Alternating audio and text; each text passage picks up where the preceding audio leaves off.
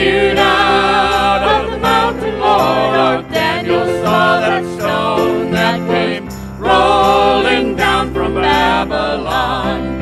Well, Daniel saw that stone that was hewed out of the mountain, Lord, and tore down the kingdoms of this world. Oh, Lord, my mother had that stone that of the Lord. My mother had that stone that came rolling down from Babylon. My mother had that stone that was hewed out of the mountain, Lord, and tore down the kingdoms of this world. Oh, Lord, I found that stone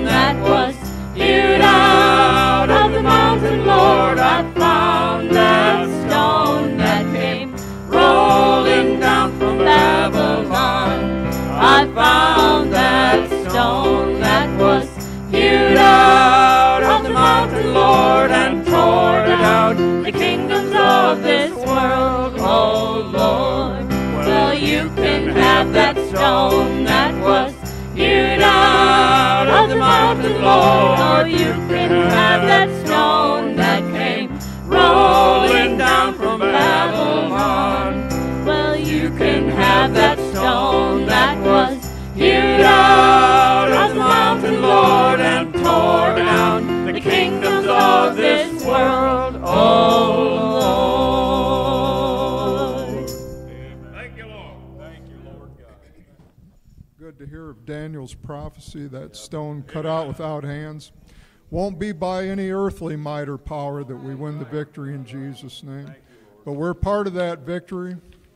We ourselves, in particular, we're just a little church out in the middle of the cornfields in northern Illinois.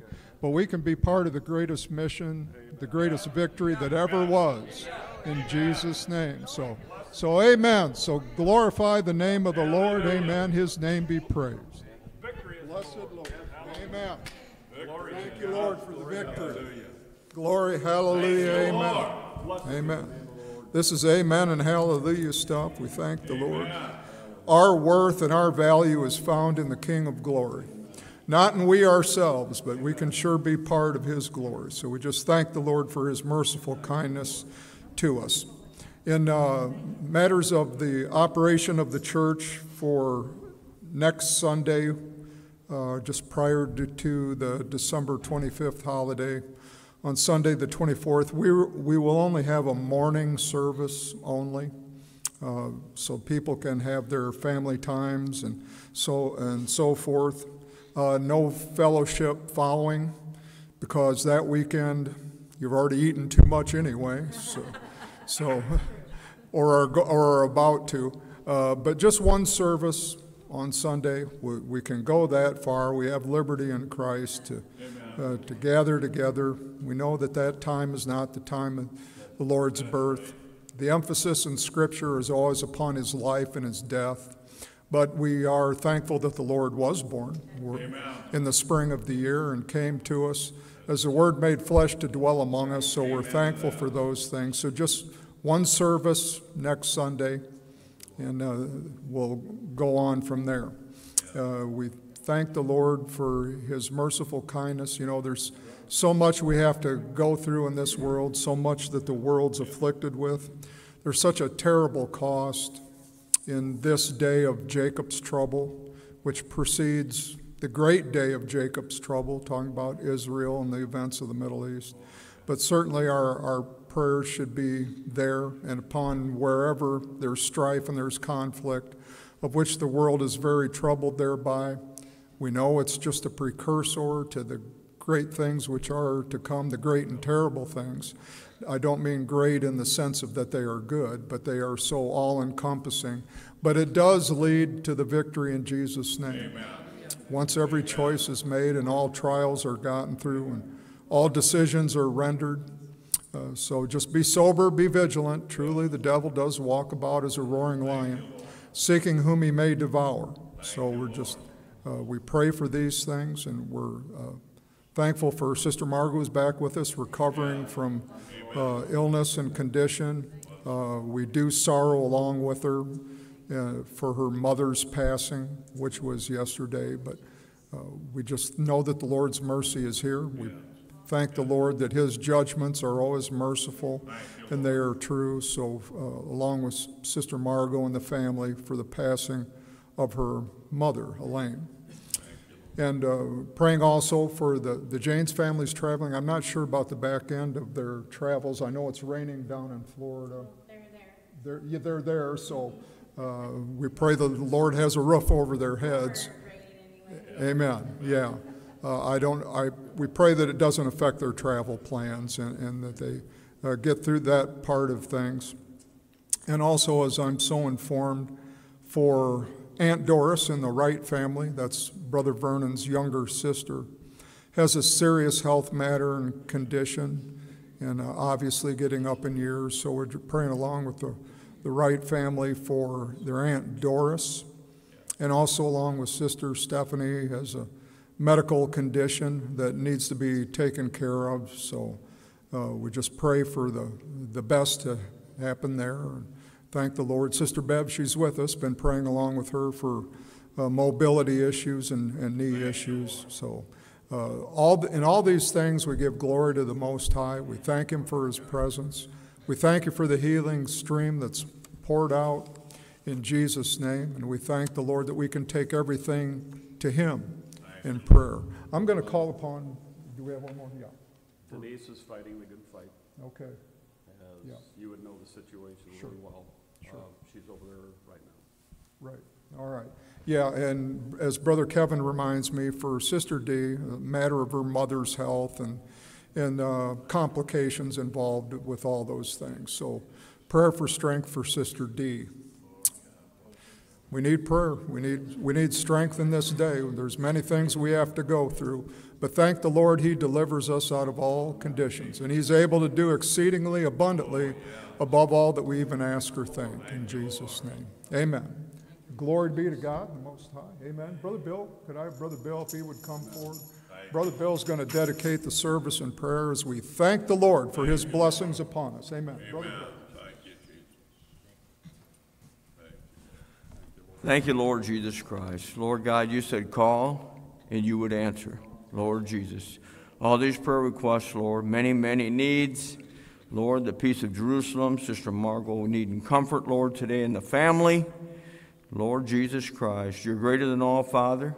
And Lord God, you said you meet all of our needs. Lord Jesus Christ, your word is written, Lord God, for our healing, for our deliverance. Lord Jesus Christ, Father God, you're the God of light, and darkness can't comprehend the light, Father. Lord Jesus Christ. So, Lord God, quicken those, Lord God, who are in need, Lord, those who are needing surgery, that, Lord, you'll guide the doctor's hands, Father. Lord, the surgeon's hands, Father God. Lord Jesus, we trust you, Lord. We have faith in you, a faith that worketh by love, Lord.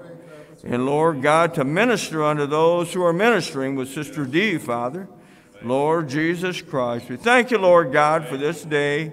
Lord, giving us another breath to breathe, to praise your name this day. Lord God, and worship you in spirit and in truth, Lord. Lord Jesus Christ, as we prepare our hearts, Lord, this day, Father God, for the worship unto you, Father, and the preaching of your word to come forth, that, Lord God, will be receptive and hearers and doers.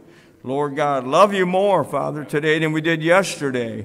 Love one another more today than we did yesterday, Father God. Lord Jesus, guide us and direct us, Lord. We thank you for keeping us, Lord, and being a shelter in the time of storm, Father God, because you are greater than all, Father.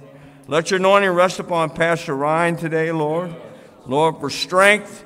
Lord Jesus, it's a lifting up of his voice. Lord, as he brings forth your word to us, Lord Jesus Christ, in all wisdom, in all knowledge, Lord, and all encouragement and revelation that will never die, Father, for it's eternal. Lord Jesus, help, help us, Lord, and quicken us according to your word. And we just give you all the glory, all the praise, and all the honor, Lord Jesus Christ, for you are the omnipotent one. Lord Jesus Christ. Thank you, Lord Jesus Christ, most sovereign God, Lord Jesus Christ. Amen. Amen. Amen.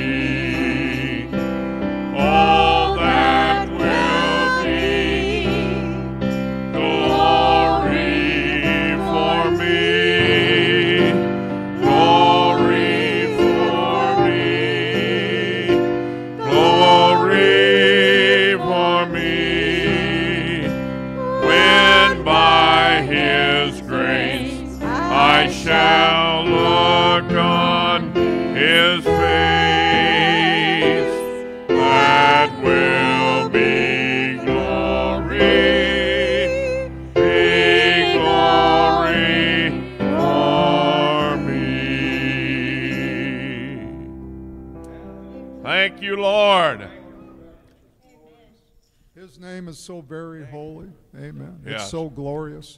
We thank the Lord. You know, we often say all glory and praise to the King. And Amen. in Jesus' name. That's not just perfunctory uh, statements, you know, that's real stuff. That's where we put the honor and the glory. And then we receive the benefit of all Amen. that. Hallelujah. That strength comes right back to us. Thank you, Lord. In Jesus' name. And Praise that's the the, of glory Lord. of it. That's the glory of it all. Thank you, Amen. Jesus. So that's what makes me glad I'm one of them, right? Amen. Amen. Thank the Lord. Oh, thank Jesus' name. Amen. There are people almost everywhere whose hearts are all aflame with the fire that fell at Pentecost, which cleansed and made them clean. It is burning now within my heart. All glory to His name. I'm so glad that I can say I'm one of them. One of them. One of them. I'm so glad that I can say I'm one of them. One of them. One of them. I'm so glad that I can say I'm one of them. Though these people may not learn to be nor boast of worldly fame, they have all received their Pentecost, baptized in Jesus' name, and are telling now both far and wide His power is yet the same. I'm so glad that I can say I'm one of them. I'm one of them. One of them. I'm so glad that I can say I'm one of them.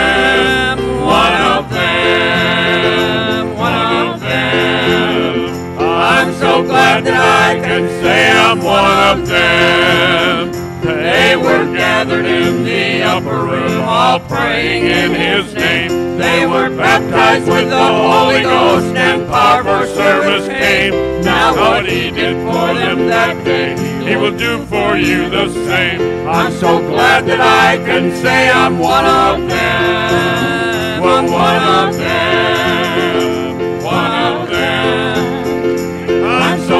That I can say I'm one of them. One of them. One of them. I'm so glad that I can say I'm one of them. Come, my brother, seek this blessing that will cleanse your heart from sin. That will start the joy bells ringing and will keep the soul aflame. Is burning now within my heart. Oh, glory to His name. I'm so glad that I can say I'm one of them. Oh, one of them. Oh, one of them. I'm so glad that I can say I'm one of them. One of them. One of them. I'm so glad that I can say I'm one of them.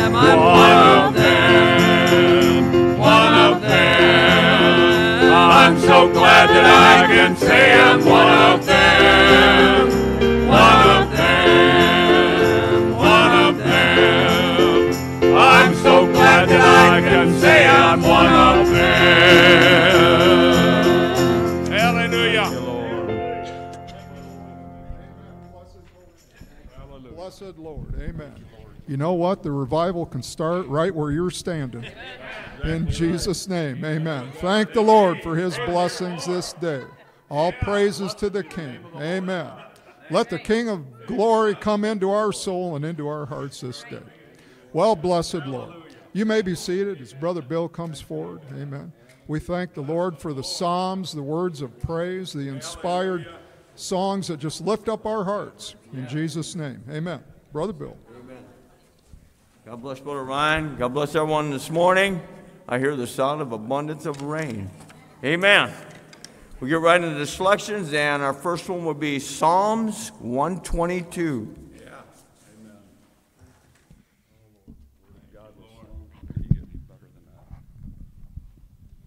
Thank you, Lord. Well, I was glad when they said house of the Lord. Well, I was glad when they said unto me, Let us go into the house of the Lord. Our feet shall stand within thy gates. O Jerusalem, our feet shall stand thy. O Jerusalem, pray for the peace of Jerusalem. They shall prosper that love thee. Pray for the peace of Jerusalem. They shall prosper that love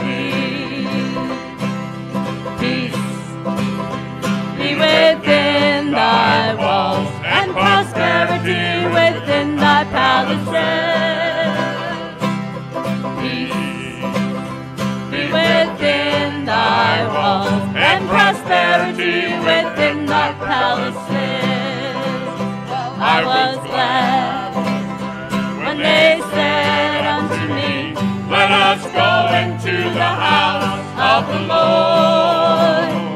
I was glad when they said Let us go into the house of the Lord.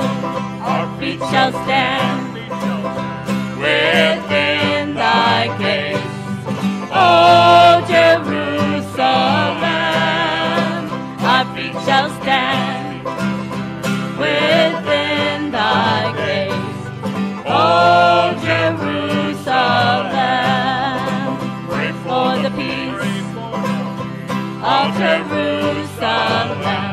Shall prosper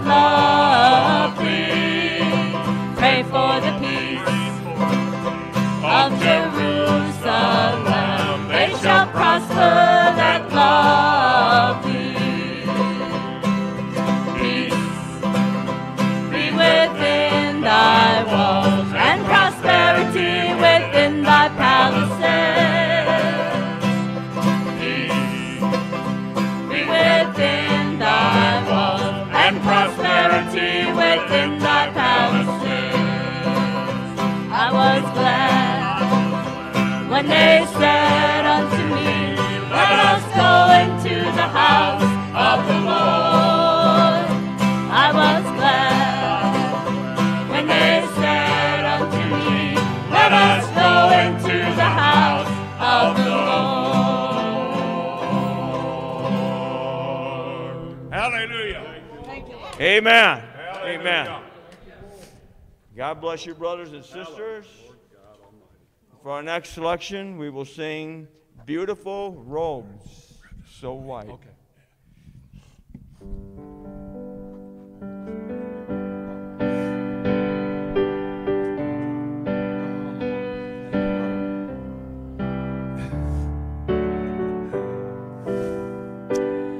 Beautiful robes so white, beautiful land of light, beautiful home so bright, where there shall come no night. Beautiful crown I'll wear, shining and bright o'er there, yonder in mansions fair, gather us there. Beautiful robes, beautiful land, beautiful home,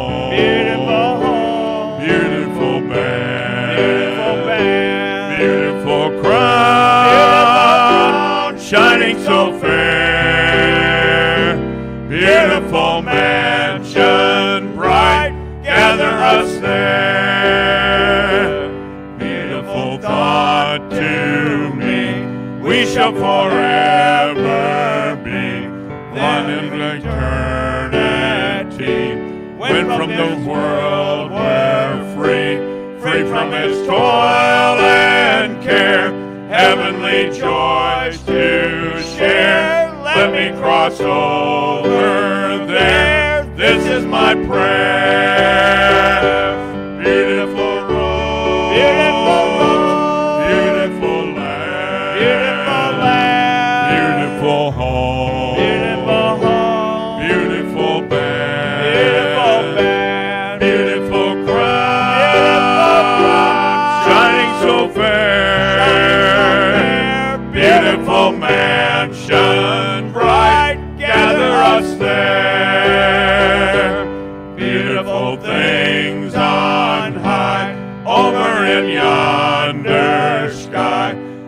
I shall leave this shore, counting my treasures o'er, where we shall never die. Carry me by and by, never to sorrow more. Heavenly shore,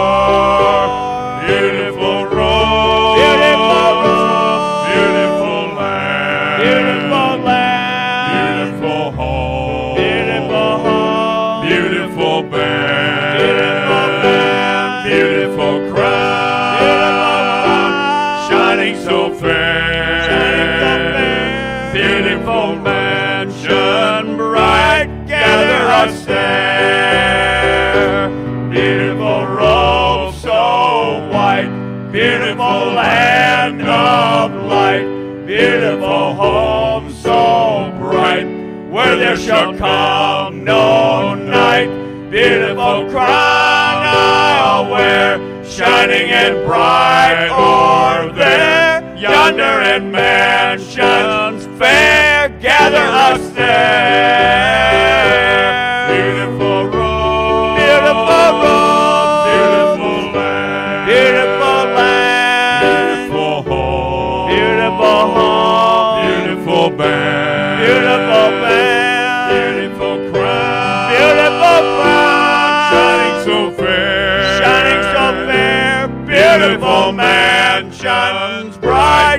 Gather us there. Beautiful road, Beautiful road, beautiful land, beautiful land, beautiful home, beautiful home, beautiful band, beautiful band, beautiful crown, beautiful crown, shining so fair, shining so fair, beautiful mansions bright, gather us there.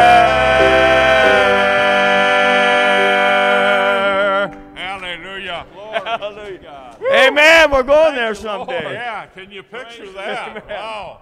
Oh, Amen. God bless you, brothers and Sister Miriam. Amen.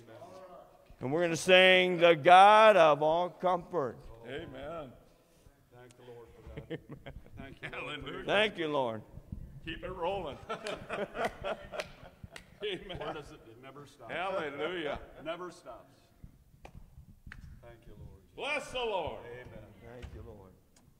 Oh, Lord God. Thanks.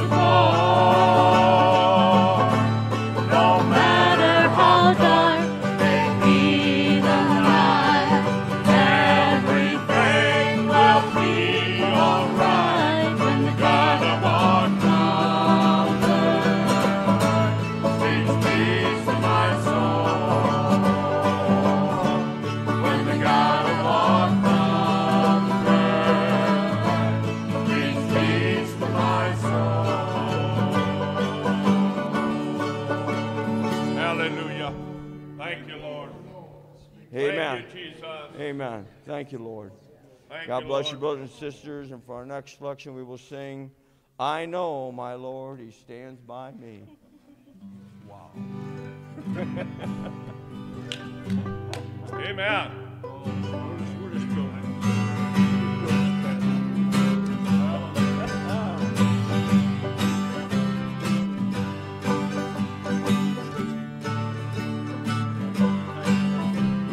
Hallelujah. Downhill, Grandma. Life's weary road. Many times I'm. Means a heavy load.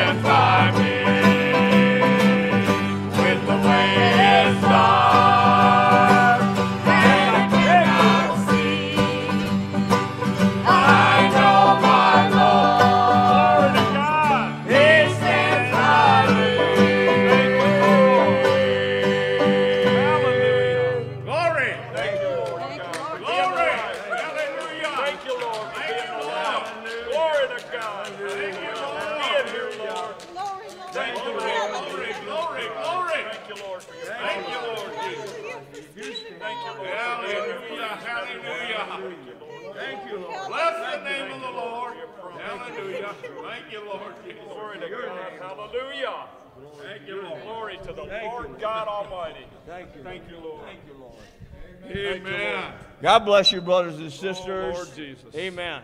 Thank God. Thank you, Lord. Thank you, Lord. For our last selection, Sister Rachel and Sister Patty will oh, sing for us. I know my Redeemer lives. Thank you, Lord Jesus. Thank, Thank you, Lord God. Amen.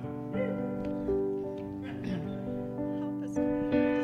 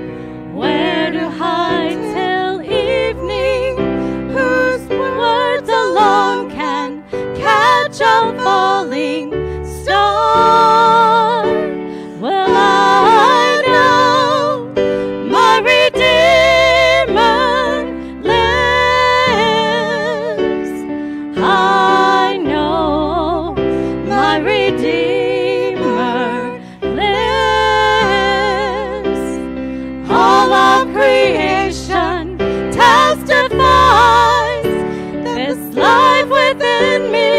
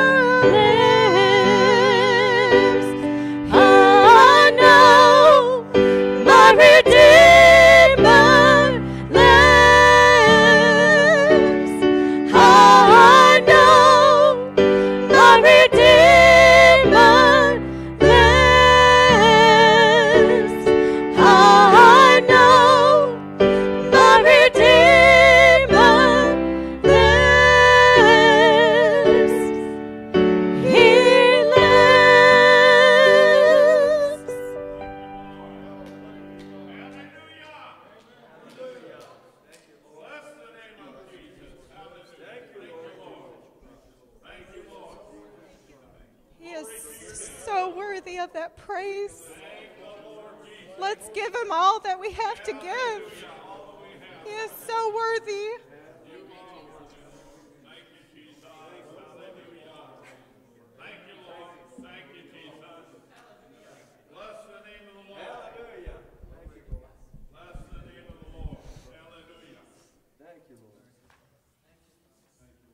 Beautiful sisters, because God lived, we can live also. Amen. God bless your sisters, and Sister Miriam on the piano for the. We'll sing a chorus before Pastor Ryan comes to bring forth the word of truth to us. It's on page 144 in the Green Book. The bride of Christ is soaking up the word.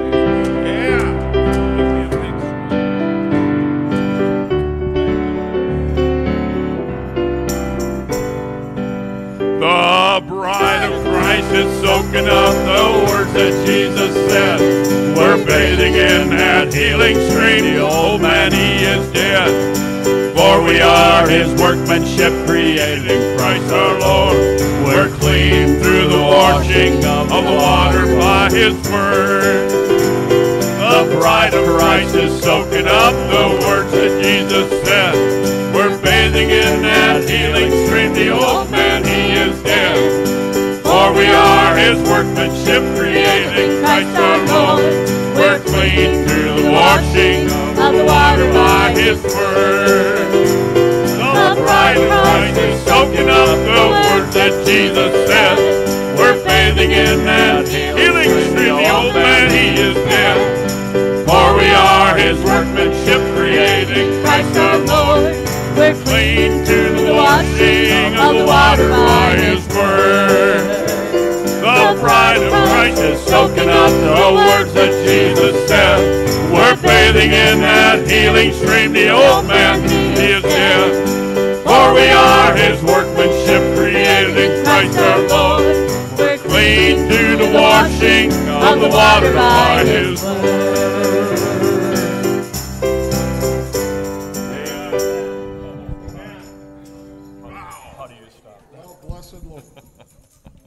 Of you thought you were going to get soaked and take, take a bath today? Amen. Well, blessed Lord. Amen. In Christ, we can do all things spiritually, spiritually speaking, in His holy name.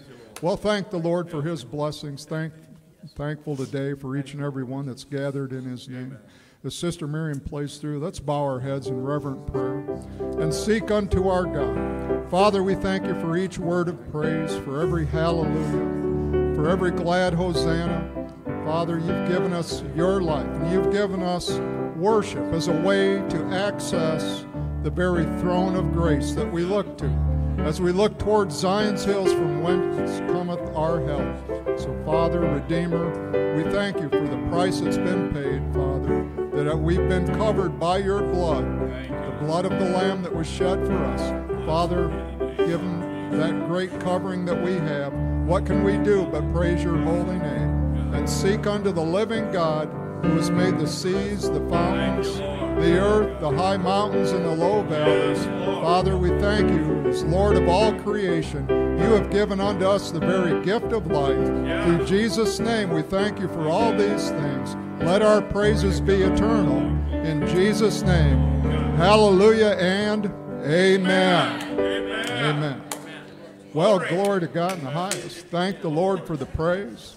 Thank the Lord for the worship as we worship Him in spirit and truth, for He is the Spirit of truth. Amen. Thank the Lord for each and every one. You may be seated. Thank you, Lord. Glory. Blessed Lord. Thank you, Father.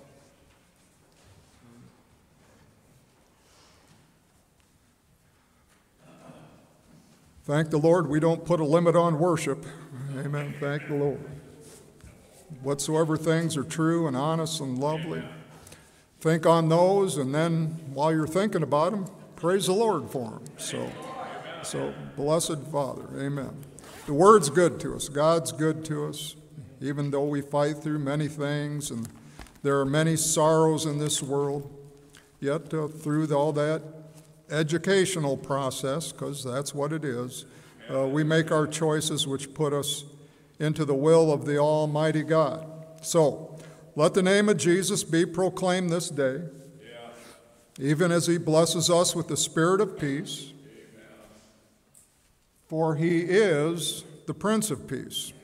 And may the gospel light just be reflected in our witness of the glad tidings that tell us that there is a land of promise ahead. Is, is such a thing as that possible?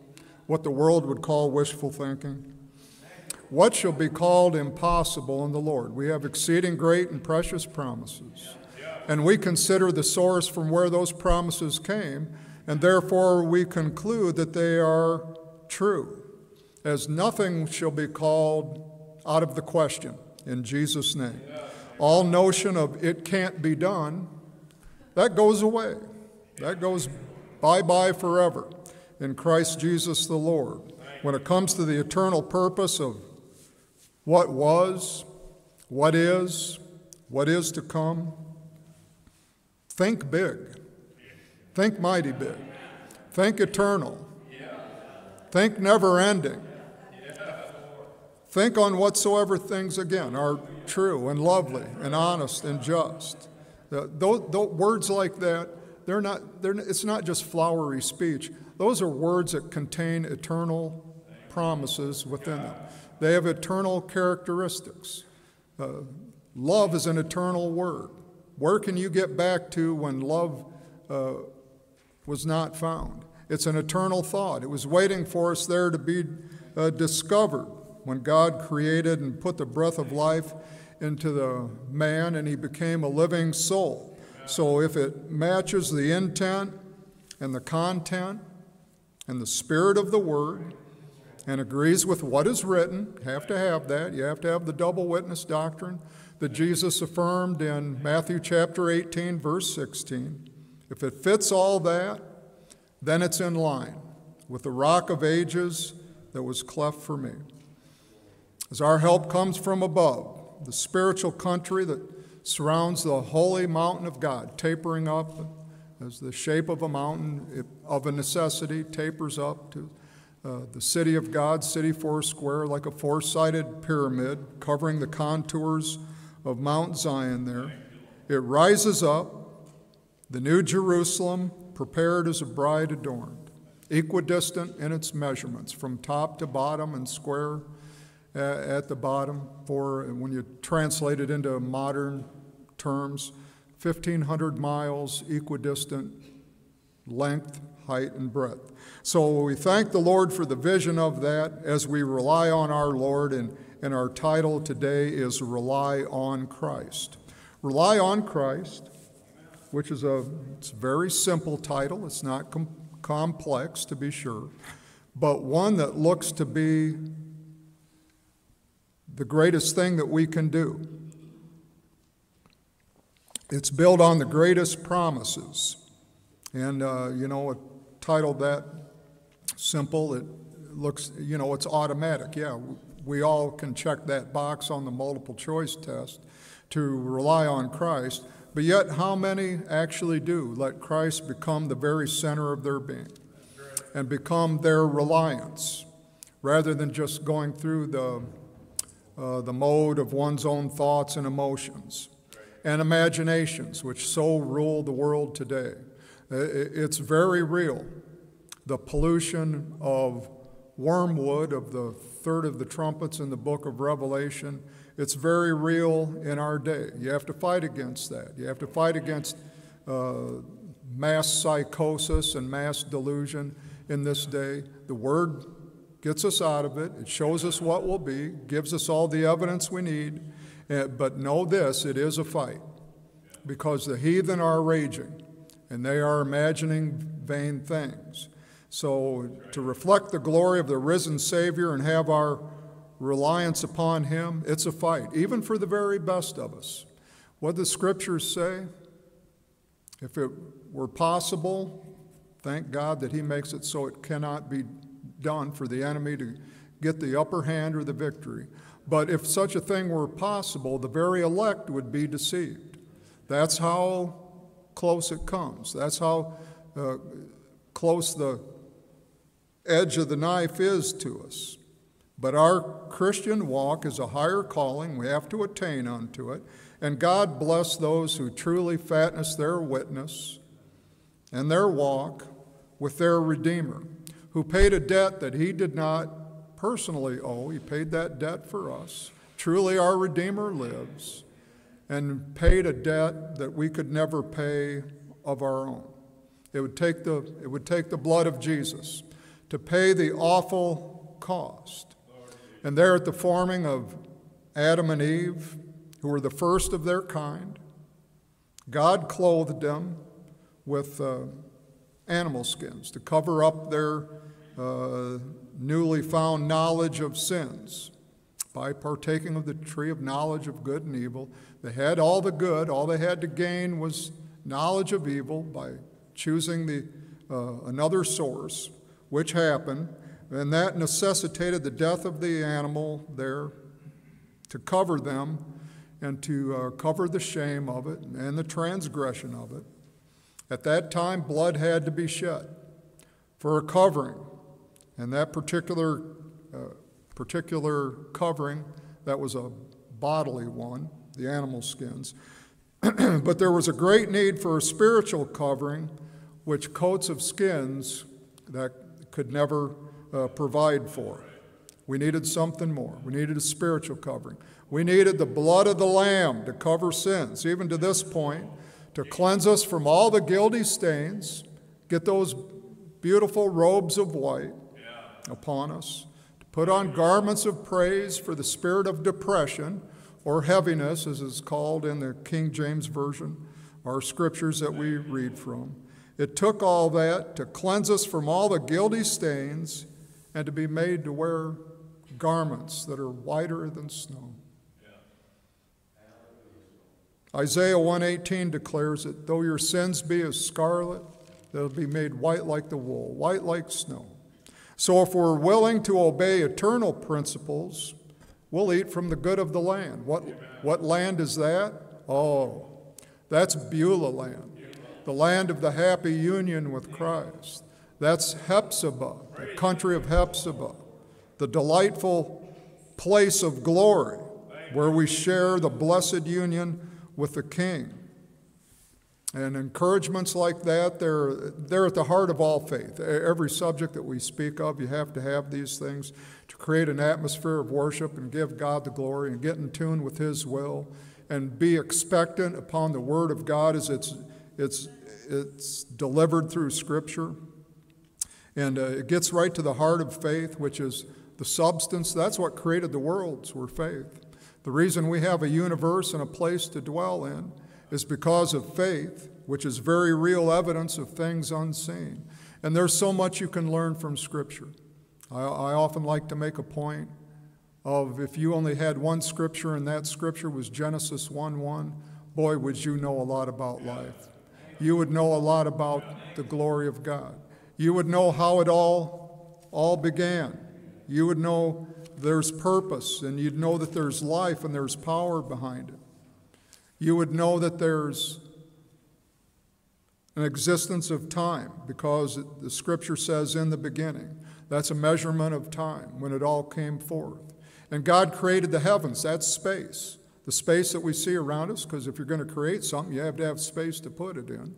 So God created time, He created space, and then He created earth, or all solid matter everywhere, not just this planet. Thank God for this planet in particular, but all solid matter everywhere. And you, you know that there, there was one God because there's no plural to it. In the beginning, God created the heavens and the earth.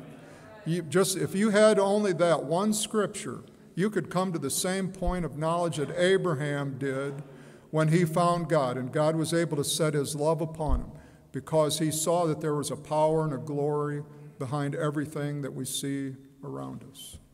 And that's, that's marvelous. That's one scripture.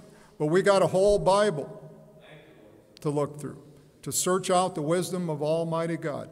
And just like God does not limit your worship, He doesn't limit your knowledge either. Christianity, I think I said this last week, you can explain it, I can explain Christianity in 30 seconds.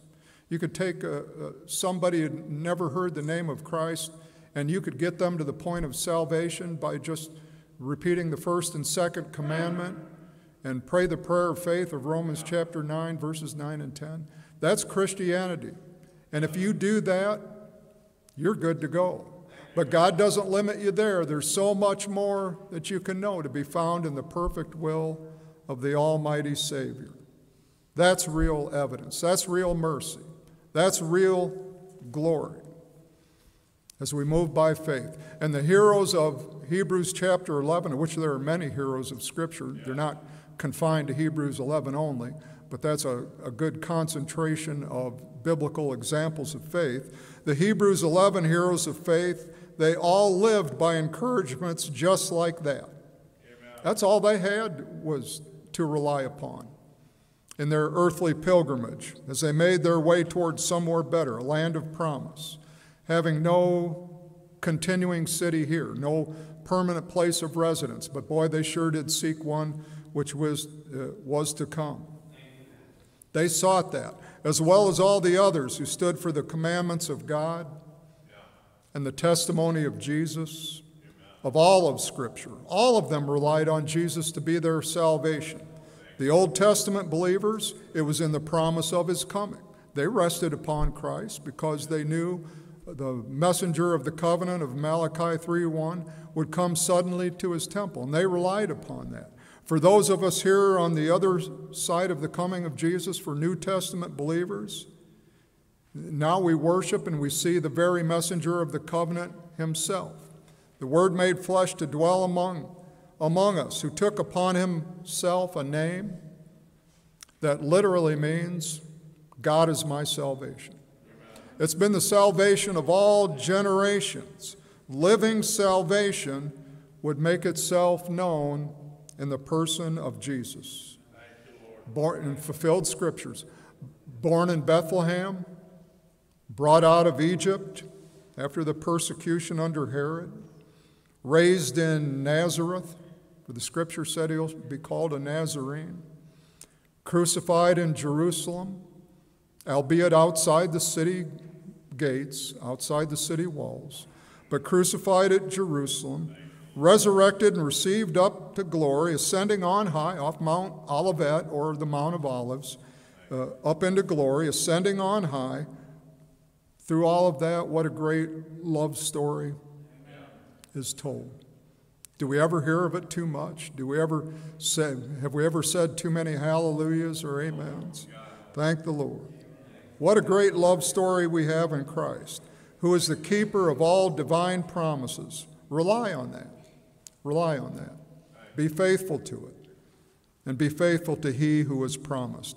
In Second Chronicles, let's get a historical basis for the precept of reliance upon the Lord out of the books of the kings, the annals of the kings of Judah and Israel in particular second chronicles chapter will be 16 there's so much you can know through scriptures old and new testament as they work together. There's much to be gained as we uh, arrive here at the reign of one king asa of the line of david over judah. This is about uh, approximately 900 years before Christ. Christ's birth is about nine centuries in the offing, but the, the promise has been given to David, and the line will come down through both Joseph and Mary out of the tribe of Judah, and thus Christ will be born in eventual terms. Prophesied of and then carried forth. Uh, but here we are uh, as King Asa of Judah is being attacked by his fellow Hebrew tribesman, uh, Baasha, king in Samaria, ruler over the ten northern tribes. As that point in history, the Jewish nation was split in two. And he, Asa the king, makes league with Benhadad of Syria to break off the siege of Jerusalem as he's being accosted by the Samari- uh, king in Samaria, Samaria, Baasha. And uh, then we come to this example and we'll start from the seventh verse. And at that time, Hanani the seer literally one who sees. There was a transition period where aforetime they were called seers. Eventually, that will evolve to the prophets, and uh, that'll be the more familiar designation which we're more used to. But essentially, it means one who sees. Hananiah the seer came to Asa, king of Judah, and said unto him, Because thou hast relied on the king of Syria, and not relied on the Lord thy God, therefore is the host of the king of Syria escaped out of thine hand. And then it refers to an earlier example, which is in chapters 14 and 15. Were not the Ethiopians and the Lubims, which is just an ancient name for modern day Libya, people of Ethiopian and Libyan extraction, were not the Ethiopians and the Lubims who ruled over the land of Egypt at the time? Weren't they not a huge host with very many chariots and horsemen? Yet because thou didst rely on the Lord, he delivered them into thine hand, which is again in the previous two chapters. For the eyes of the Lord run to and fro throughout the whole earth to show himself strong in the behalf of them whose heart is perfect toward him. See, he had relied on the Lord earlier, but life is a test. You have to rely on the Lord in your youth, you have to rely on the Lord in your middle age, and then in, when the years pile up and you're uh, of old age, you have to rely on Him just as much then. All right? So the heart was more perfect toward Him and showed Himself in the earlier examples that we've just referred to. The second part of verse 9 Herein thou hast done foolishly. Therefore, from henceforth, thou shalt have wars. Decisions have consequences. What you choose will determine uh, the course of future events. As the curse causeless shall not come. And so it was under the reign of Asa, king of Judah in Jerusalem, which, when you read the whole account of Asa's life, uh, he's actually one of the better kings, uh, descended from David's line, which would lead again to Christ eventually. But here there is a, a failure to carry through. In the time of, uh, timeline of history, it could have been different. It's no matter what course history takes, it was still going to end up at the cross. All those things were apportioned to lead right into that one moment in time where Christ would make his sacrifice. But the timeline of history, it could have been different, which tells us your decisions, they matter. And they matter a whole lot. Because you can be part part of the enlargement and the deliverance of the Lord God, or you can turn away from it as Esther 4:14 declares. Uh, but deliverance and salvation and enlargement, it'll come from some other corner, but you'll be left out. So make a choice to be part of it, which Asa at this time, uh, toward the end of his life, the end of his reign, he failed that. But because this choice was made, wars will be the result future conflicts that could have been avoided with a little faith, little reliance on the Lord, which indeed had been previously done. This is a lifetime course. You got to stick to it. Got to stick to it until the devil's whipped. Stay the course. Your choices matter. They affect your life, they affect your family's life, your children, and all those that surround you, even as King Asa's choice determined the flow of events of that time period for all his subjects. And from here he will decline as you go on and read uh, to the end of the chapter. But obedience and reliance upon the God of our fathers has great and lasting effect down through the generations. Because of a choice Abraham made, we have the line that led to Christ. If Abraham would have turned aside from that course, as indeed the book of Amos tells us, there were other peoples set in place, other peoples who were potentials for the Exodus era, uh, including the Philistines, so reviled in Scripture. Uh, there was a choice, and and uh, they made the wrong ones and turned all the wrong ways. And the Syrians themselves mentioned here that God brought out and put in place, but it was through Abraham. Abraham made the decision, and God chose them because they were the smallest of nations and brought them out in the Exodus day. And that effect shows right on down as we read through Scripture. So, Asa's example, like Solomon's, Solomon prayed for wisdom. Uh, the dedication, I'm awestruck by the dedication prayer of the temple that was built, prepared by David, built by Solomon, that was upon the mount in the middle of Jerusalem, that, and the asking for wisdom in order to, as to how to rule God's people. But in the subsequent years, Solomon's wisdom failed him, for he made decisions and went another way, went another course instead of relying upon the Lord. So much like Solomon, King Asa will fall prey to that type of thinking. All these decisions have to be made. Why, do, why does the human creation go through so much? Blessings and cursings are set before us because all decisions have to be made. There can be no true freedom without these things. So your choices matter. Joshua's choice mattered. When he said, Choose this day whom you will serve, whether it's the gods that uh, your fathers served on the other side of the flood in the antediluvian period of earth history, or the gods of the people in whose lands you're coming into. But as for me and my family, as for me and my house, in King James terms, as for me and my house, we will serve the Lord. Choices matter, they matter greatly. And when the results of disobedience were plainly laid out before the children of Israel, Joshua made that choice, as well as proclaiming the trust in the benefits of the Lord God if you obey.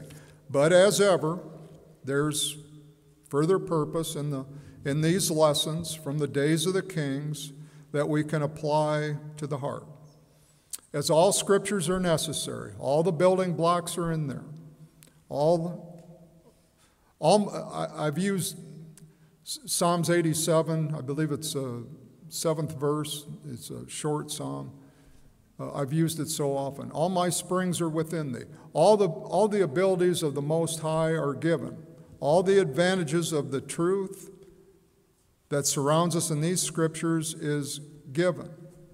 There's always further purpose in, in what the Lord does, and we can apply it to our hearts and get a greater birth certificate than the one you're on file with in whatever county of whatever state, USA, that you were born in. Our spiritual birth certificate can say we were born in Zion. Whether you're uh, out of Philistia or Tyre or Babylon, wherever it is, in modern terms, Asia, Africa, Europe, the Americas, North and South. Your birthplace is in the heavenly Zion. As all scriptures form together to tell us that. And they're good. Uh, we're reading, as we read out of Second Chronicles, it's historical in, in nature, but the historical scriptures are good for instruction. They'll lead to Christ. All the genealogical lists, they're historical, but they're, they all lead to Christ, don't they? They lead to the birth of a Messiah. So the historical scriptures are good for doctrine, the, uh, and the doctrinal scriptures are good for the prophetic, and the prophetic scriptures are good for worship and for praise, and the worship scriptures are good to establish faith. And the faith verses are good for healing and so on and so forth, and it just circles back around and blesses us all in Jesus' name till it all comes back around. Makes a perfect circle of faith. Faith is that, it's a perfect circle. It has no beginning or no ending. Comes right back to you in a circle of righteousness and hope, and it does exactly what Romans 8:28 says that it does. It all works together for good in the Lord. Even though the worst things that you can name, the, the biggest calamities, the biggest injustices that have ever been seen upon the face of the earth, which some we have to see things like that on, on the screen or in the news every day. Even something as terrible and as evil as the Holocaust era, the World War II, mid 20th century. But then we come to the fifth seal, and there are souls under the altar crying out, How long, O Lord, holy and true, dost thou not avenge our blood with them that dwell on earth? And they're given robes so they sh- should rest a while. That nobody's dead. Nobody. The physical, the body may be in the ground. The, there might not be any breath of life within the physical body, but the soul lives on, and there's comfort. They're given white robes. The rest, rest a little while till these things be accomplished. Amen. Real death happens when death and hell are cast into the lake of fire. If we can just see things through God's eyes, He sees from a different vantage point than what's found in this world. So, it all works together. And this whole result of Asa's actions, it, it tells us that uh, something else that's very vital. Thinking, because he made a political decision, it tells us this that thinking in political terms is not the way to find God's will in anything. You pray that God's will is found somewhere in, in some reasonableness, but, you, uh, but it's the salvation of no one. Now, you can care about political matters, I do. I do that myself.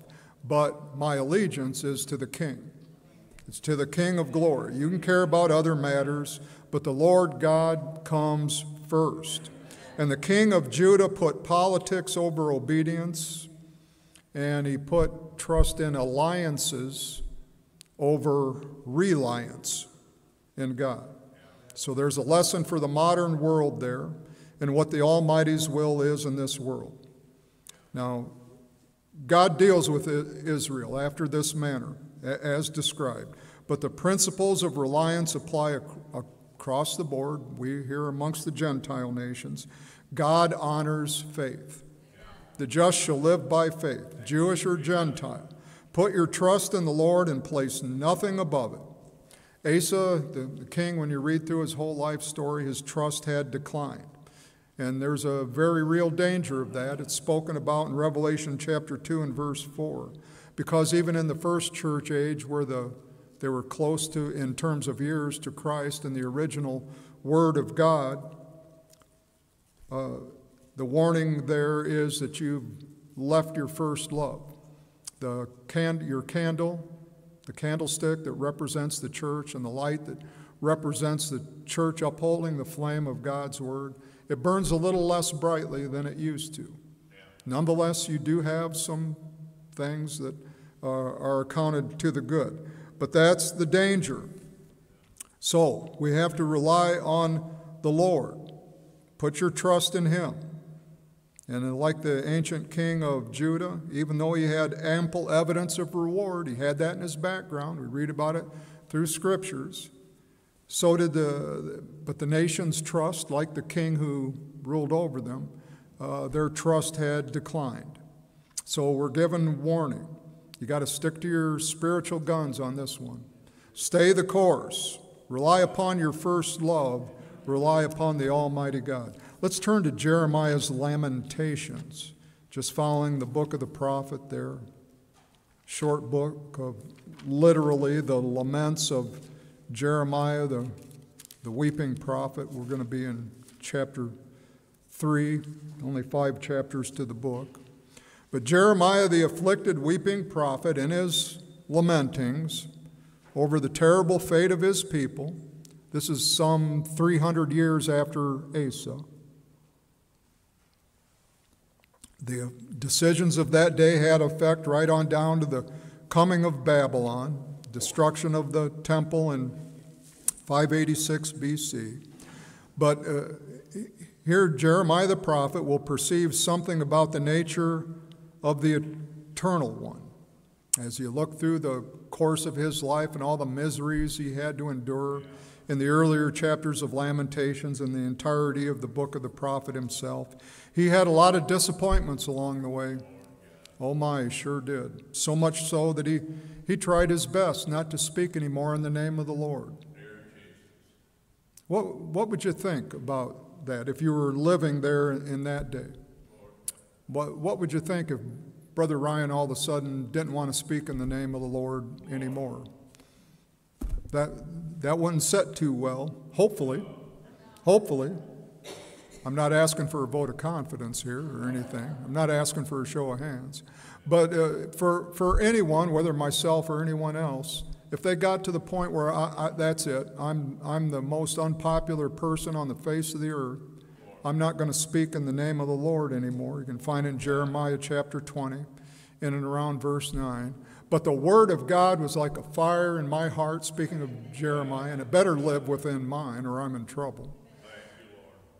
The Word of God was like a fire in my heart, and I couldn't clamp my trap shut anymore. And the Word of God just came. That's not an exact quotation from the book of Jeremiah. Amen. But it was such a fire within my heart that all the temporary disappointments, I got to look into the eternal things of the Almighty God, and I couldn't shut up anymore. And it all just came flowing out like a torrent of righteousness in Jesus' name. Amen. The fire was deep down in his bones. God knows how to put the fire within. And Jeremiah the prophet could no longer stay the tongue. All right.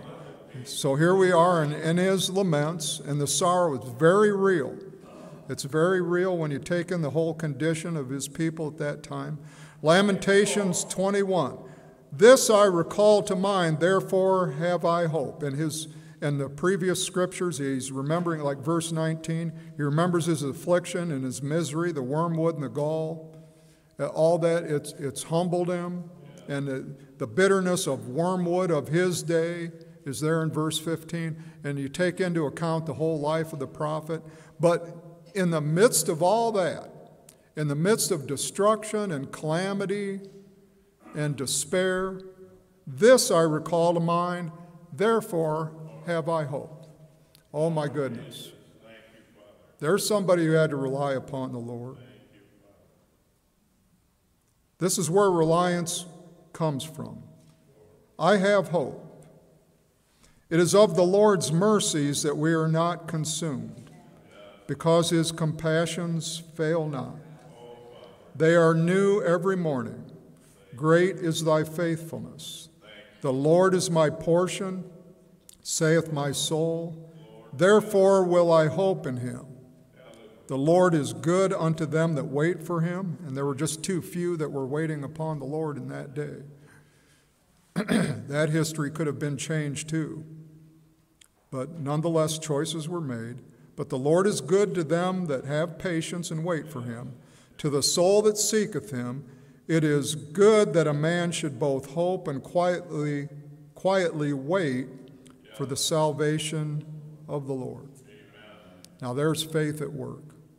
There's faith at work. How would any of us do under such circumstances as seeing his nation torn apart and uh, the influence of foreign religions and foreign gods being shown right in the heart of Jerusalem and, and so forth, and the the hatred that was shown toward him, a man who only spoke the truth. This is where the reliance upon the Holy One of Israel comes into play. Not all of us will be a prophet to the nations or, or a king over a peoples, but faith has its perfect work in each and every one of us according to the level that we come to in our own experience. Hope exists. Therefore, I have hope. Hope's an eternal word. It's always been here. Nobody invented it. It's something that we found. It's something that we found in Christ. Hope exists because God exists. He who has no beginning, no ending of days. Hope exists as an eternal thought, not wishful thinking like you might find in a dictionary, how that would define it, but biblical hope, when given in this sense, in this context. Biblical hope has a purity of expectation to it. It's tempered. It has to have patience. It has to get to the end of the whole thing, knowing that the promises of God are assured, and it understands that the Lord's mercies are here forever and ever. Faith does that. Faith also understands this faith understands authority, as once a Roman centurion did. Where's the authority? It's in Jesus' name. So even as the prophet writes out his complaints, he turns his thoughts to the Lord's compassion. He turned to his reliance, and it was upon his God. As was told to him in Jeremiah chapter 1, one of the most outstanding uh, chapters of faith. Bible wasn't written in chapter and verse, but the opening portions of Jeremiah that we now call chapter 1. For uh, it's there that the Lord had strengthened him by this knowledge. How, how, how does this strengthen a person? It gets him ready. Not only was it true and yea and amen, but it delivered strength for the day where he would be so disappointed he wouldn't even feel like speaking in the name of the Lord anymore. He was so despondent over the actions of his fellow countrymen. But he was delivered the knowledge before you were born, before I formed you. In other words, I did form you, by the way. God gave you life. Amen. Before you were born, I formed you, I knew you, I ordained you. He, need, he would need every bit of that strength. He would need every bit of that knowledge to sustain himself. He would need the strength of that to sustain him. The Bible's our strength. God dealt with him on a one on one basis at a very special place.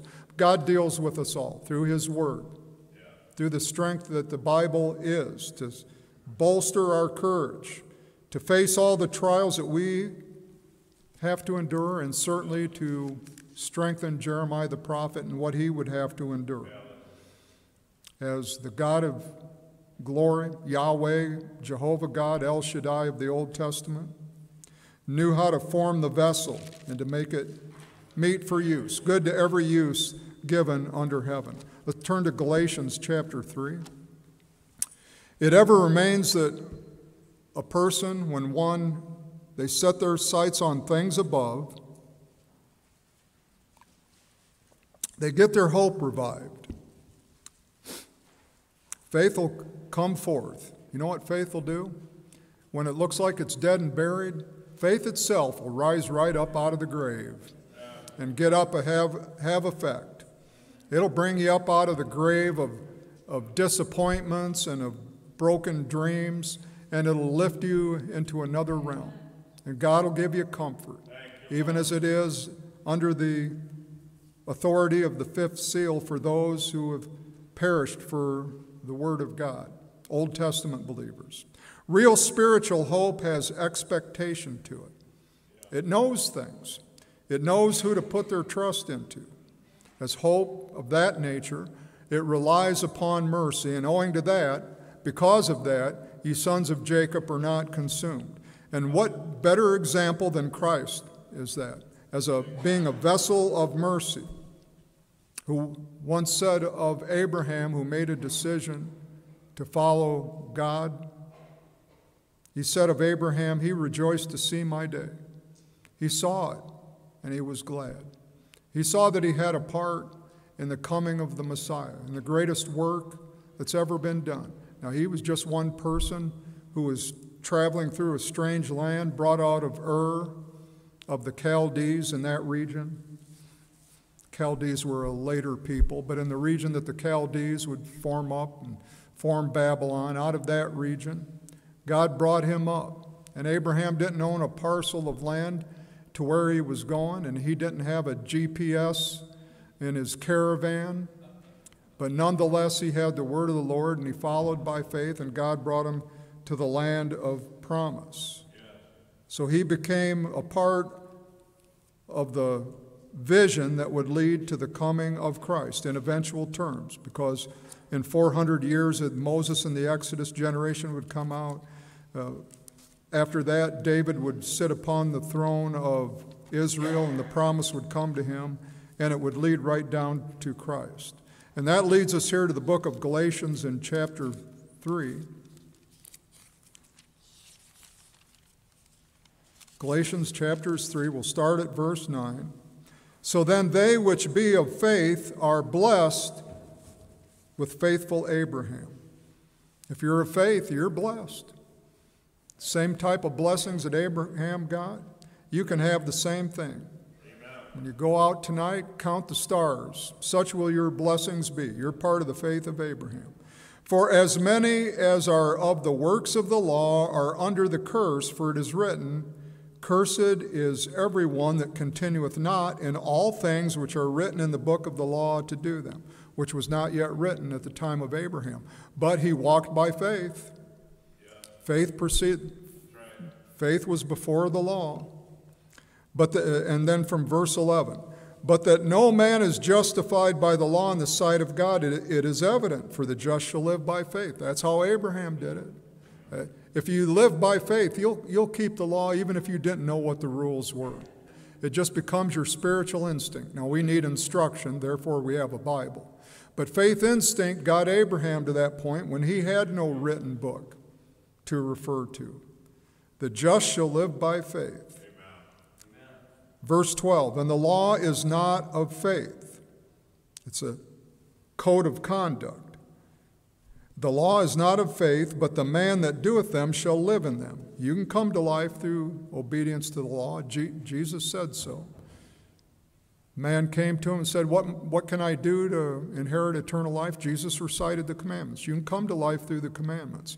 But for full assurance and to be part of what I'm doing right now, because the Lord of the Sabbath is right here and right now, to be part of this, to be part of the apostles or the disciples, the, the extended saints of faith who did the groundwork there, sell all that you have and come and follow me. The man went away being very sorrowful. He had great possessions.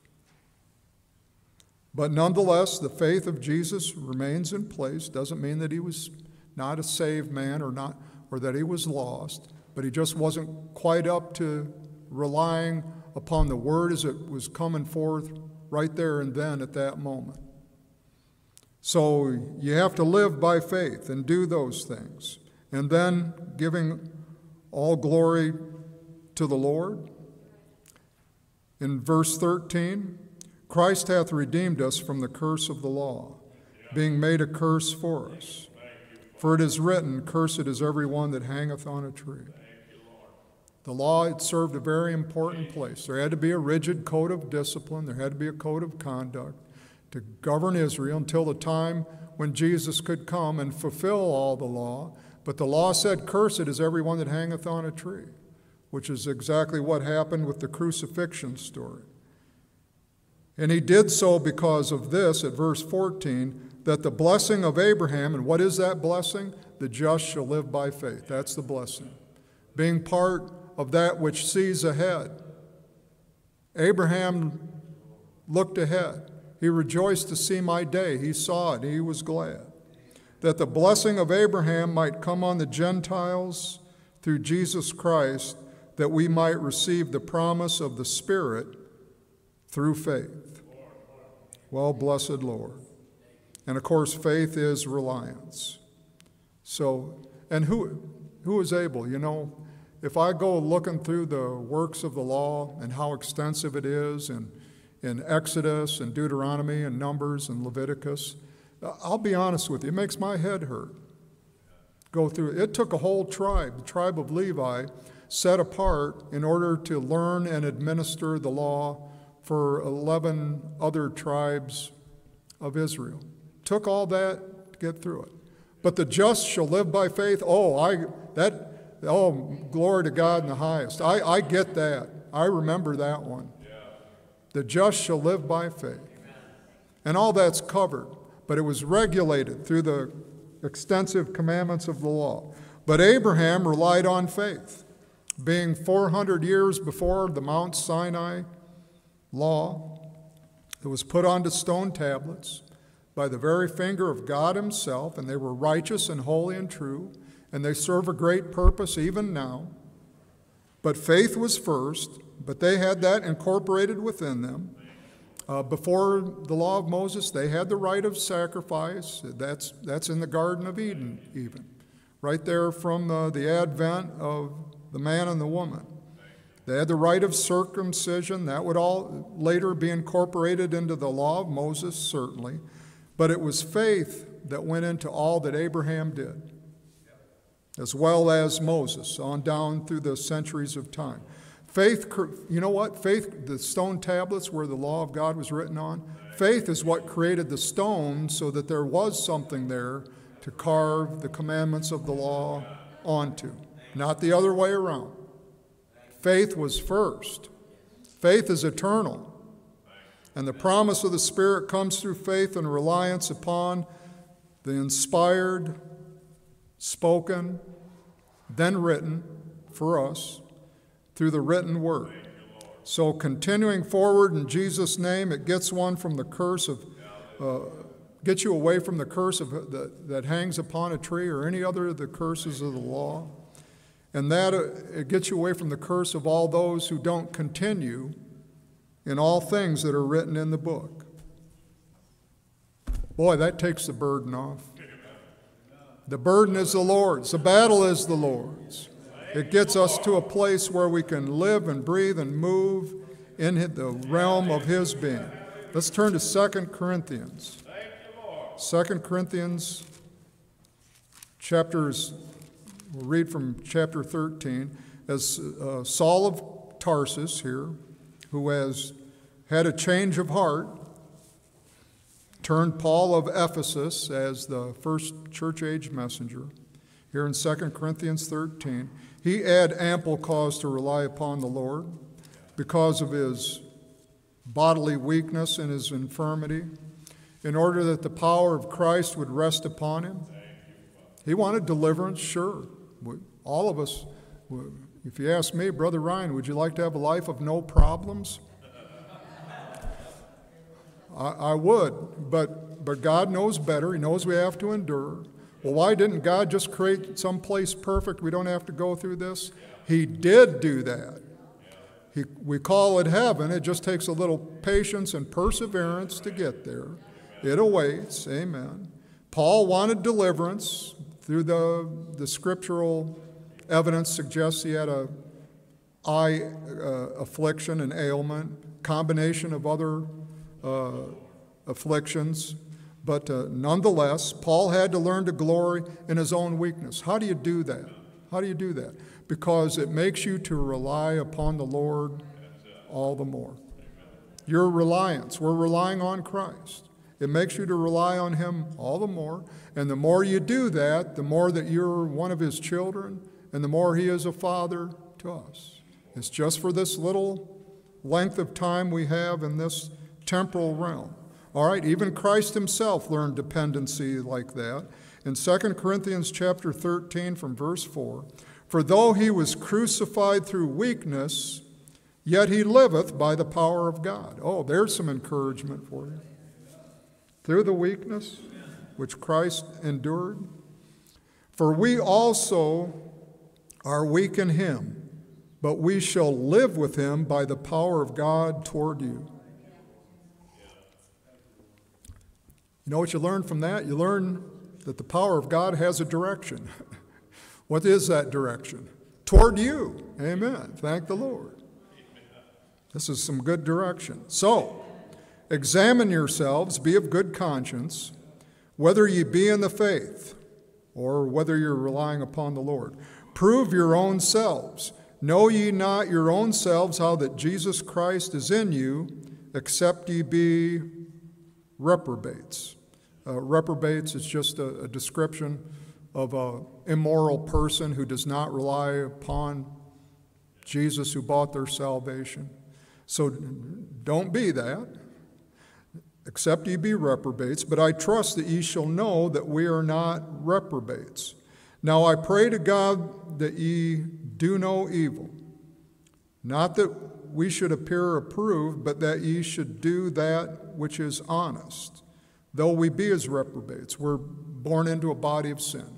That's the struggle. Romans chapter 7, Paul says, uh, How do I escape this body of sin and death? Why do I do things that I know are wrong? Sin nature, that's a, that's a fight. All right. So, but uh, you can do all things in Christ Jesus. And verse 8 implores us tells us, For we can do nothing against the truth, but for the truth. Nothing that goes against the truth of Almighty God will stand. You can't do anything against it. You can fight against it in that sense, like Judas did, but will that have any permanent effect?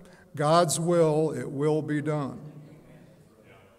We have to do things for the truth. For we are glad when we are weak, and ye are strong, and this also we wish, even your perfection. Strength through weakness. What a concept. That's, re- that's revolutionary. What other ancient religion or philosophy came anywhere near that precept of strength through weakness? It's part of the eternal wisdom of Almighty God.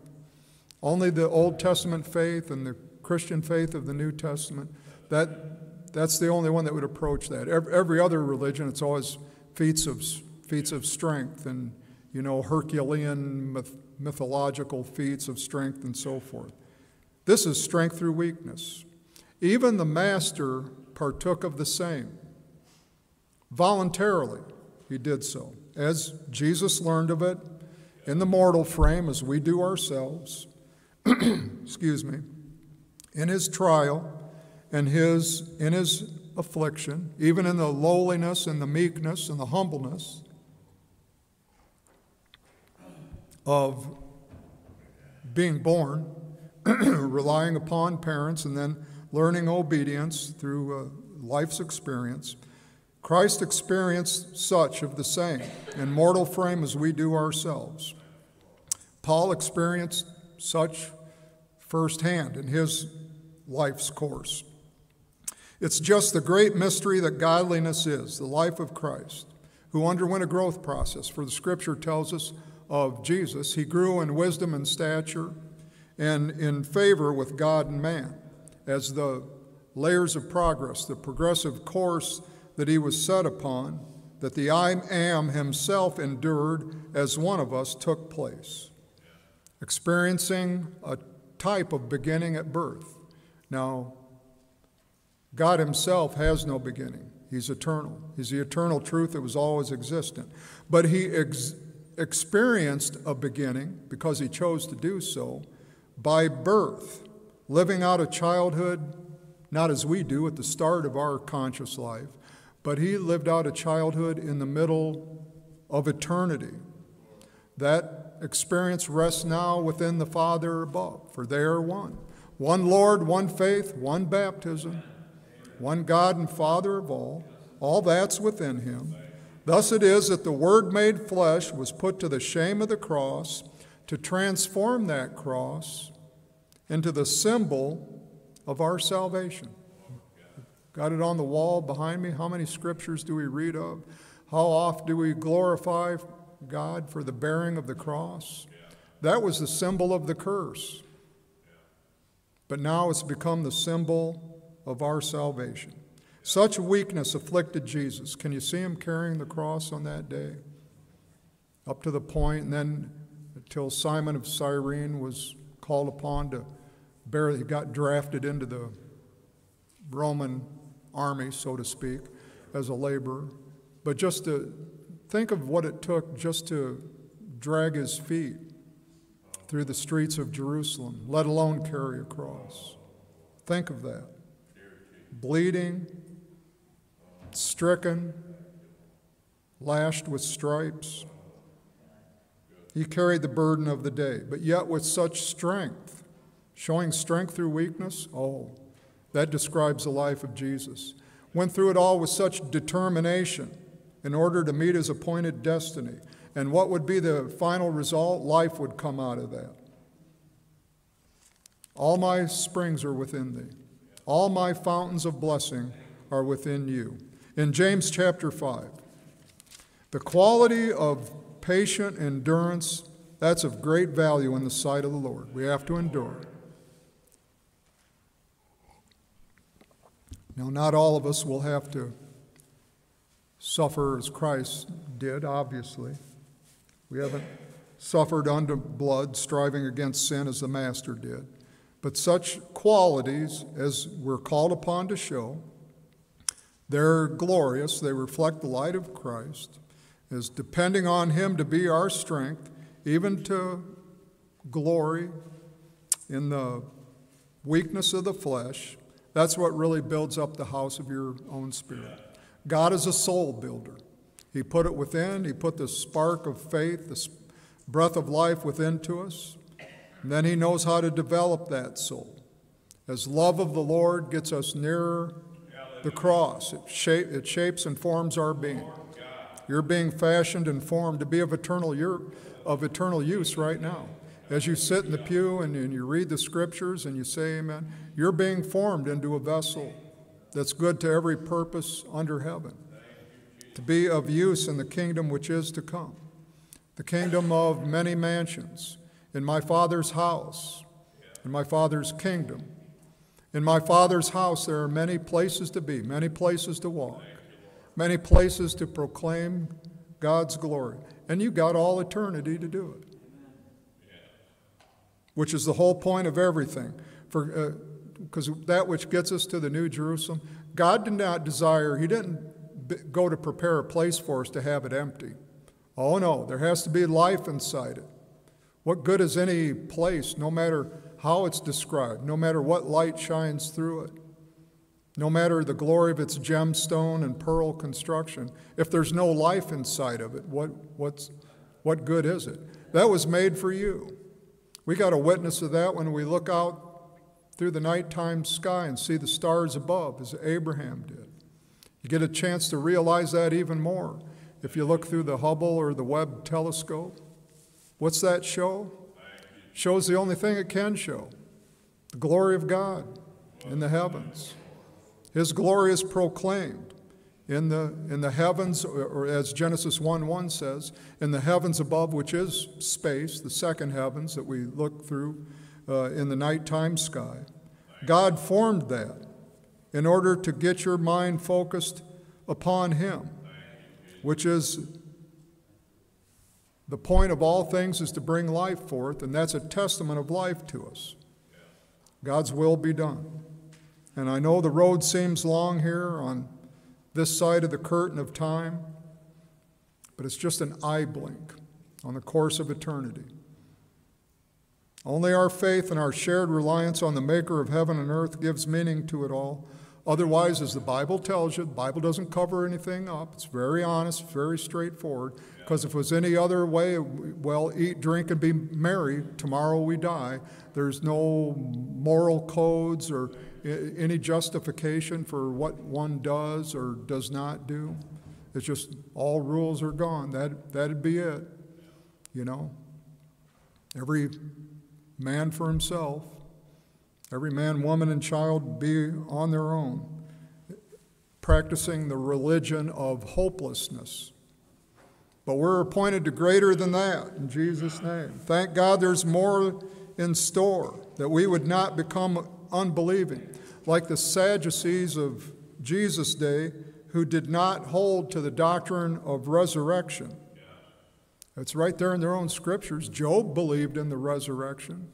Oldest composed work of the Old Testament, it's believed, that's probably so. But anyway, part of the, the Word of God. Job said, even though corruption finds this body, yet I know in my flesh I shall see God. Yeah. That's there's life. Yeah. There's life beyond the shadows of this world. That shows right from the beginning. I, didn't, didn't they read about Abel's blood crying out from the ground? There's a soul that cries out from the ground. Just like those souls of the fifth, fifth seal, those souls crying out from under the altar. There's, there's life within. There's more. There's more than what the eye, the natural eye sees. And that's the testament of the living God. Job, Job saw the resurrection, had resurrection faith 2,000 years approximately before Christ would rise by the power of the third day. That, that's astounding. That is astounding. But that's what faith does, because he was living by faith. The just shall live by faith. And if you live by faith, then God can show you something that is very real and very actual. All right, we're here in book of James, epistle letter of James from chapter 5 is reliance upon the resurrection. It's our great virtue. one that's supported by the evidence of scriptural wisdom, as few in few find the way in relative terms. They find the way to that evidence. Well, here in James, there were uh, there were not many in the, the churches just being born, and the word's just starting to spread, so there weren't many in the churches yet. Uh, amongst the Gentiles who would come to the brightness of Jesus arising. But then, as now, there is a remnant, and it's been ever thus from the calling out of Abraham to leave the city of Ur of the Chaldees. And like as Gideon's 300, it shows where the power and glory resides. It's whom God chooses. That's what's important. And if you play the numbers game, do it by this standard. We have one to uphold us. Our God is one. There's none like the God of Jeshurun, the God of the upright. His, he is one and his name is one. All right, if we've got one on our side, who can stand against us? James chapter 5, verse 10. Take my brethren the prophets who have spoken in the name of the Lord for an example of suffering affliction and of patience. Behold, we count them happy which endure. Ye have heard of the patience of Job and have seen the end of the Lord. You've seen the end result of what patience and faith does. You've seen it by example. And it brings this out of the nature of the Almighty God that the Lord is very pitiful and of tender mercy. We've seen the end of the Lord, we've seen the finished work, the final result of all things set in motion that started when, in the beginning, God created the heavens and the earth. Started before that, even in the thought process of the spirit of eternal wisdom that God is. And then uh, brought it all forth as He created time, created the space to put creation within, and all solid matter, put it there. And the patience of Job referred to was a trust well founded in eternal thoughts as our hope is not based on blind faith, it's based on evidence. It's real evidence. We've got air to breathe and a sun up in the sky. That's all very powerful evidence that a creator exists. And given the fact that the creator exists, well, you got to find the person.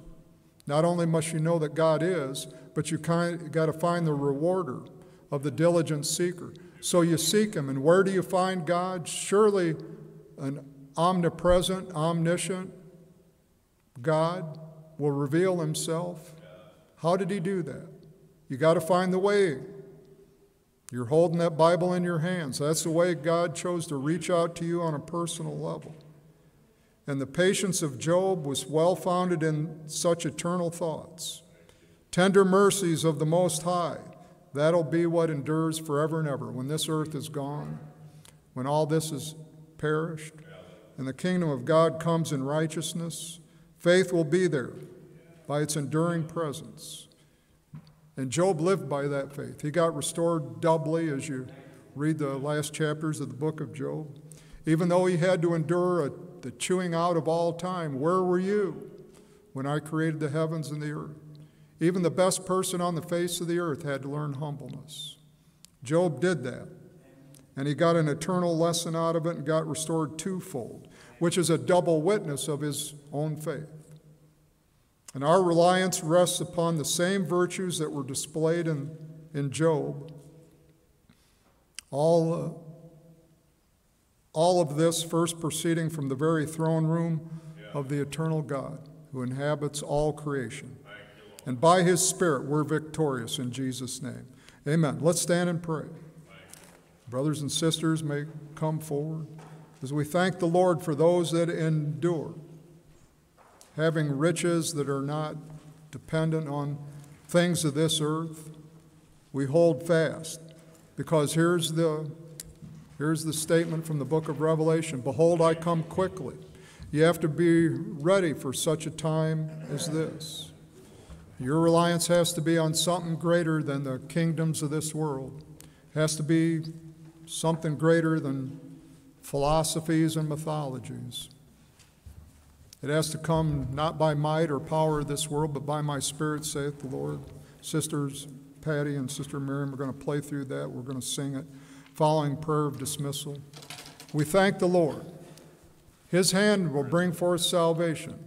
His arm has brought salvation and righteousness unto us. He wondered that there was no intercessor, so he became the intercessor for us. By birth in the person of Jesus, we rely upon him forevermore. Amen. As we bow our heads and pray, sisters play through as they will. Father, we thank you for your tender loving kindness. We know we live in the days of great deception, where even the very elect would be deceived if it were possible. But there are elect, chosen of God, who choose their election by choosing to rely upon your name and upon your word. Father, we thank you for faith that works, the faith that Abraham lived by and was justified by, that lives today within the hearts of believers everywhere.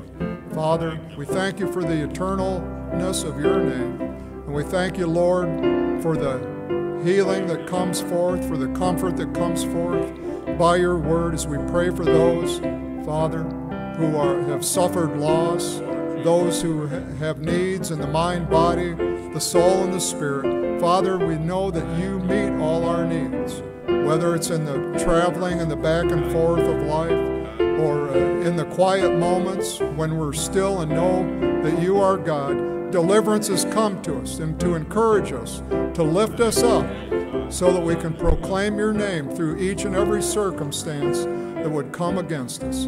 Our weapons, they're not carnal, but they're mighty to the pulling down of spiritual strongholds. In Jesus' name. Father, we thank you for the reliance that we can have on you through the name and through the faith and through the word that's made manifest through the glory of a risen Lord, we thank you for all these things. In Jesus' name we pray. Amen, amen. and amen. Well, thank the Lord, not by might, but by my spirit. By might, not by power, but by my spirit, saith the Lord of hosts. Not by might, not by might, not by power but by my spirit, saith the Lord. This mountain shall be removed. This mountain shall be removed. This mountain shall be removed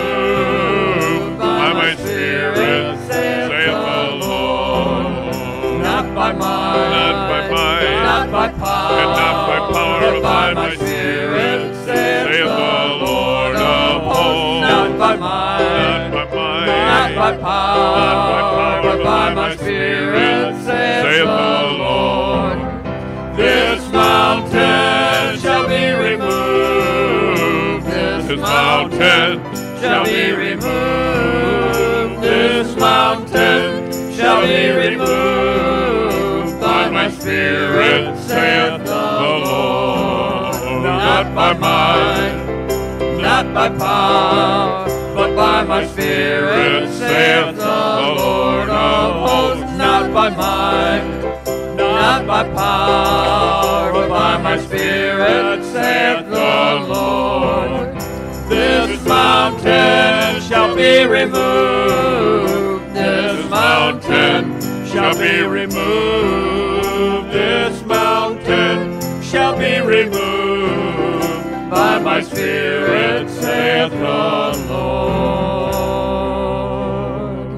Thank you, Lord.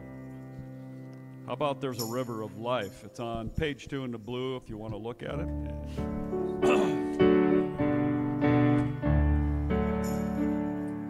There's a river of life flowing out from me. He makes the lame to walk and the blind to see. He opens prison doors, sets the captives free. There's a river of life flowing out from me. There's a river of life flowing out from me. He makes the lame to walk and the blind to see. He opens prison doors, sets the captives free. There's a river of life flowing out from me. There's a river of life flowing out from me. It makes the lame to walk and the blind to see. He opens prison doors, sets the captives free. There's a river of life flowing out from me. Yes, there's a river of life flowing out from me lame to walk and the blind to see. He opens prison doors, sets the captive free. There's a river of life flowing out from me. How about that ability unlimited?